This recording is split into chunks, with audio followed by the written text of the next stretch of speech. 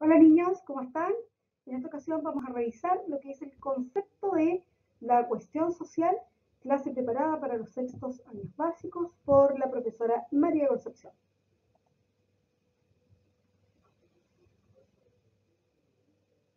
Recuerden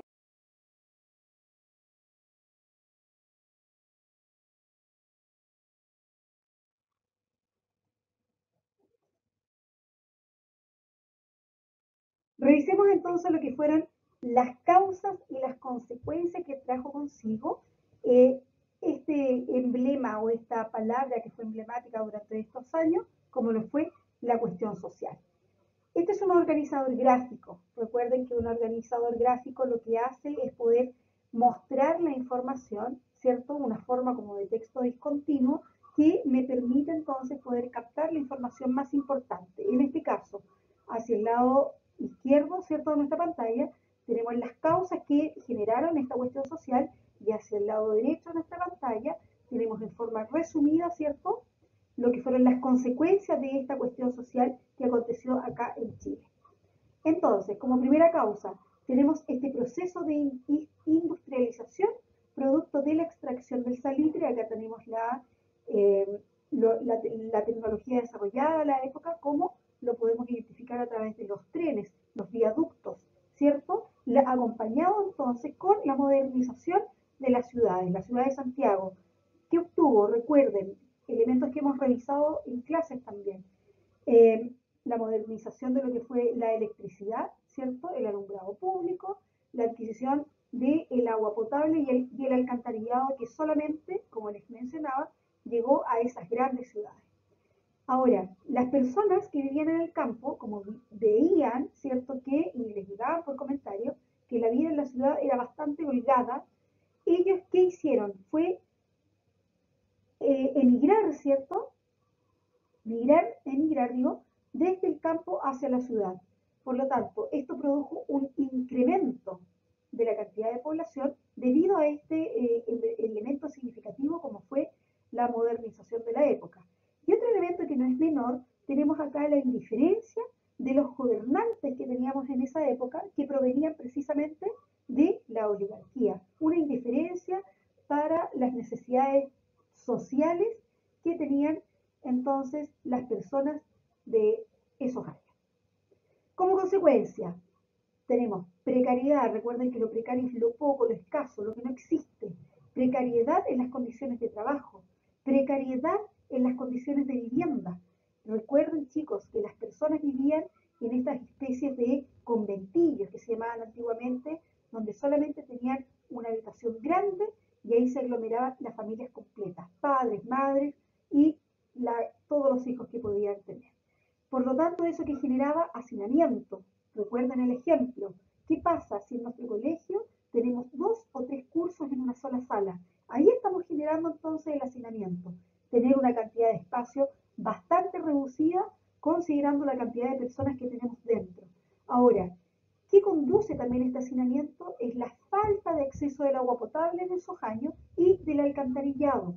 Bien, producto de lo mismo, de lo anterior, otra consecuencia sería la transmisión de las enfermedades producto del desconocimiento y de la falta de higiene.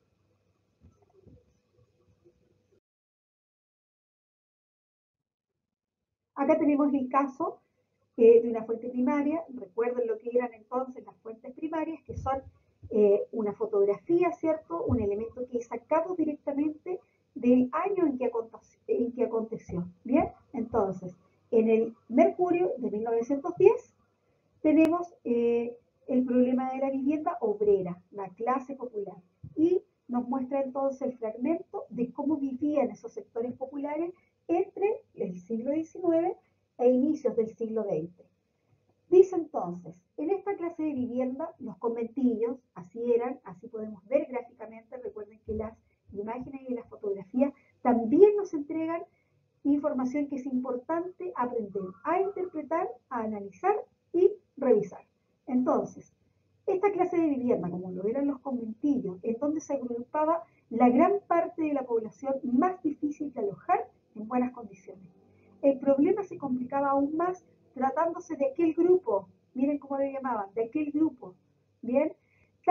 reemplazo de personas, porque así era, había también un tema ahí de natalidad que estaba pendiente, especialmente de mujeres que viven de un oficio manual o que son lavanderas, verduleras, costureras, y que van refugiándose en los conventillos, porque en ninguna otra parte podría encontrar habitación más barata, a lo económico se refiere, pero también la más infeliz. Y podemos ver, ver acá la fotografía de un conventillo que fue obtenido desde la ciudad de Valparaíso del año 1910, la pobreza que podemos observar a través de, esta imagen. Las mujeres entonces reunidas en el patio, recuerden que no tenían agua potable, no tenían alcantarillado, por lo tanto, las actividades de lavandería, imagínense ustedes dónde ellas vaciaban y eh, eliminaban entonces las aguas que ocupaban lavando esta ropa que era ajena, que probablemente haya pertenecido a la clase de la oligarquía.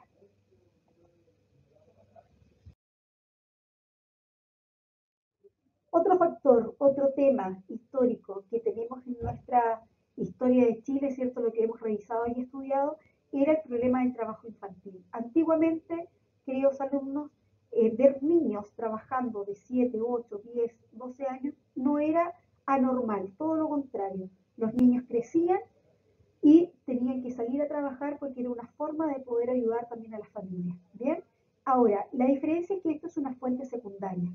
Por lo tanto, tenemos la mano de algún historiador, ¿cierto?, que recogió esta fuente y además la interpretó.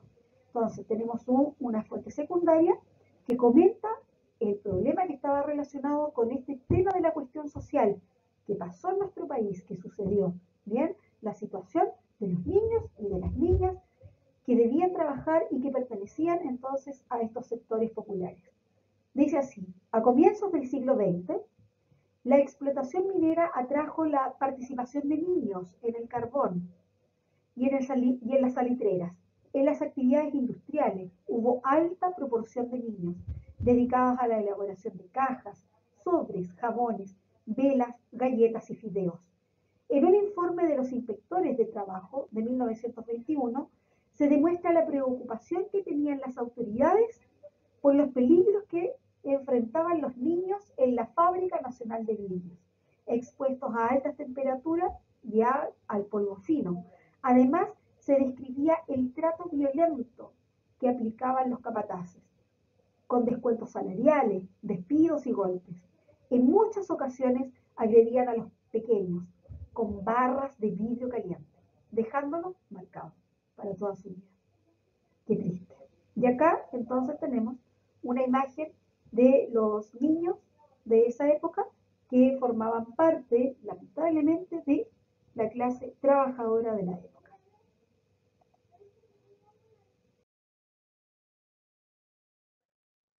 Y acá tenemos eh, imágenes también que son de primera fuente, ¿cierto?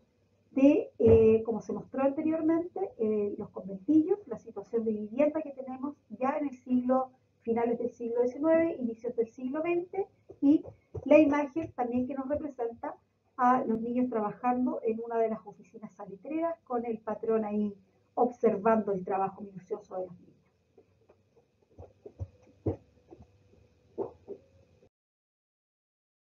En un comienzo la lucha por los derechos tuvo dificultades para todos los trabajadores, ya que sus manifestaciones fueron reprimidas principalmente por las fuerzas policiales. Fueron reprimidas por las fuerzas policiales, pero además fueron autorizadas por los gobiernos de turno, eso no lo podemos olvidar. Luego, después de casi una década de lucha y de manifestaciones en contra del Estado, comenzaron a promulgar recién leyes que comenzaban a favorecer la protección de los trabajadores y de sus familias. Entonces, nuevamente, acá en esta especie de infografía, línea del tiempo bastante moderna, podemos identificar los años, ¿cierto?, de las manifestaciones y la causal entonces de la huelga. Partimos del año 1902, tenemos una huelga que exige el fin del sistema de fichas, como revisamos también en otras clases, recuerden que a los mineros, sobre todo de la salitrera y también de las minas del carbón, ¿cierto? El pago que se les hacía era a través de fichas, por lo tanto, los eh, mineros, los trabajadores debían eh, canjear esas fichas en las pulperías y ya sabemos que quienes eran los dueños de la pulpería, por lo tanto se transformaba ahí un círculo vicioso. Año 1903 tenemos una huelga por las mejoras salariales en la ciudad de Valparaíso, nos saltamos al año 1905, huelga por el alza del precio de la carne en la ciudad de Santiago y también como comentamos en clases, ¿cierto? Esta huelga eh, evidentemente que eh, llevó a la clase, nuevamente a, la clase popular, a no poder acceder, ¿cierto?, a este alimento. ¿Y qué hicieron los pobladores entonces? Se juntaron, se fueron, se trasladaron hasta el Palacio de la Moneda para tratar de conversar con los gobernantes de la época y que recibieron fue represión de las armas. ¿Bien? ¿Cuál era la intención entonces de los gobiernos?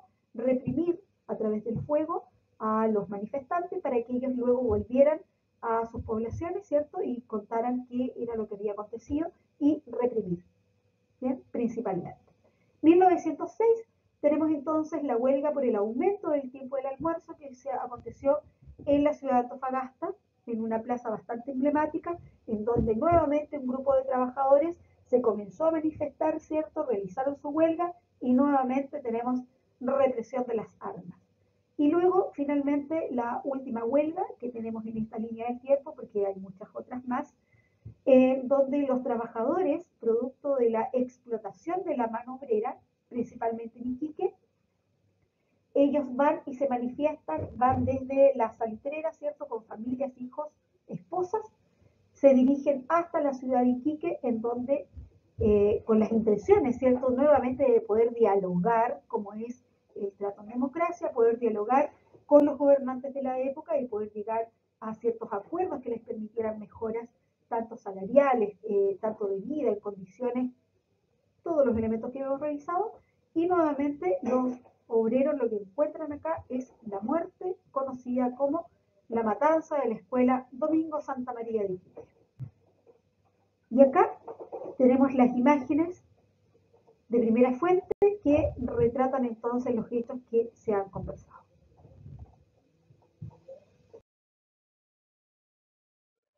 Recuerden que en el transcurso de lo que hemos revisado, ¿cierto? Hay aspectos claves de la sociedad, de nuestra sociedad chilena, que estuvieron presentes a inicios del siglo XX y que evidentemente la podemos identificar y que ya hemos estudiado. Pero la pregunta que nos presenta acá el texto dice, si Chile aumenta sus ingresos, ingresos digo, gracias a la riqueza del salitre, ¿por qué se genera esta cuestión social? Recuerden que para poder responder esta pregunta que es emblemática, que es histórica y que nos acompaña, debemos considerar sí o sí los elementos que ya han sido estudiados, como la era del salitre, los contrastes sociales y la cuestión social.